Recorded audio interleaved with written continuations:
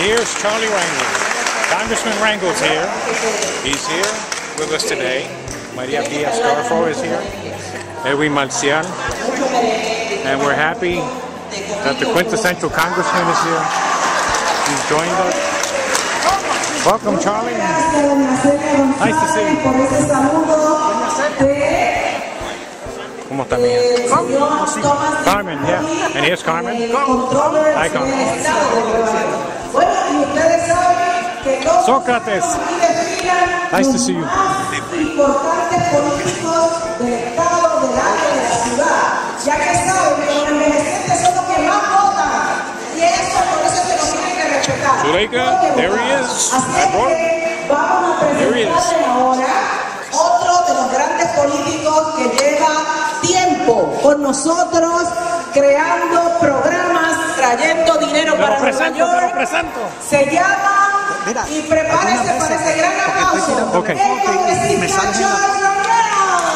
Charlie Rango.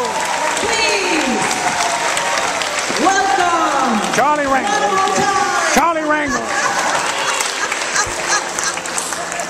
Thank you. Thank you. Estoy muy contento de estar con ustedes hoy. Thank you so much.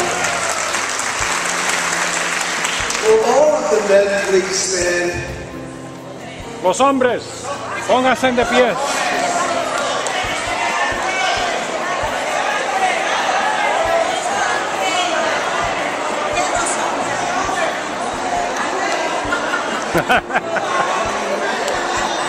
There's something wrong with this picture. There's something wrong with this picture. But I'm not going to give a speech to the men because the ones that I would like to talk to are not here. So I want to give a special commendation for the men who are concerned enough about our women, those that mother our children, and all of the fathers that don't step up to the plate. It's you that come out with our women, it's you that go to our churches, and I just want to publicly, publicly thank you and tell the rest of our guys that they better get on the ball because we're going to go through a rough economic period. And families have to be families. Have to be men and women and mothers and fathers. And the grandparents need help.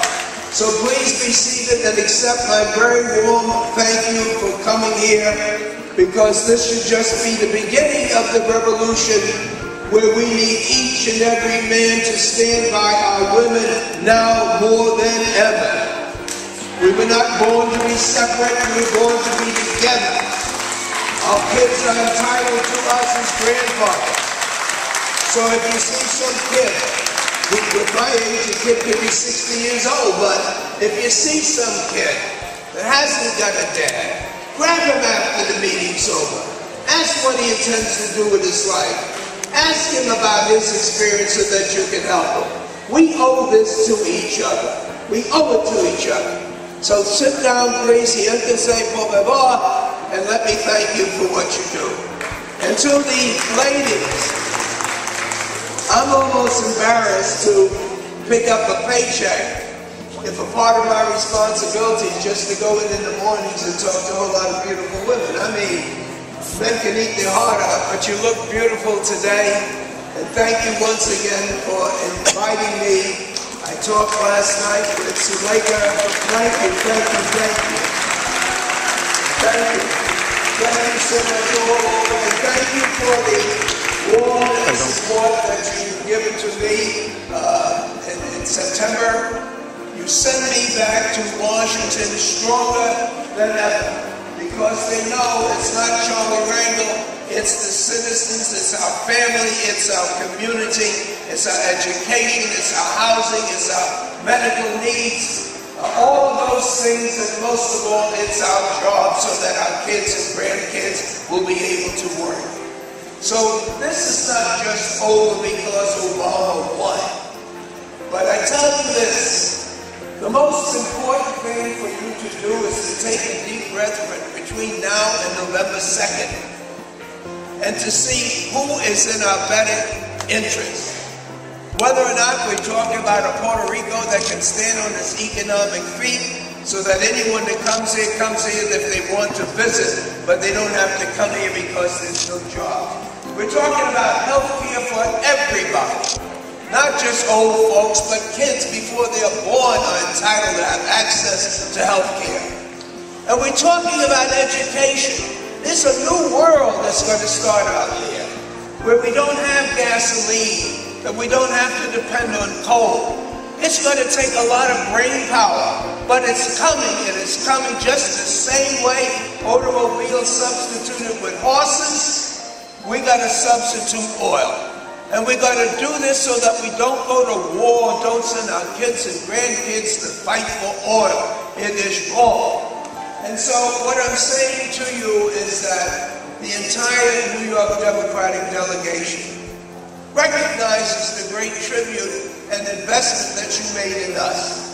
And if we don't take care of our old what a civilization is all about. These are the years that you need comfort and not fears. These are the years that you don't have to worry, you should not have to worry about prescription or being able to find a decent place to live. You've paid your dues, and your children and your grandchildren may not be in a position to say thank you financially, but your government can and should. So anybody that's talking about ending Medicare, ending Social Security, they are not our friends. So I beg you,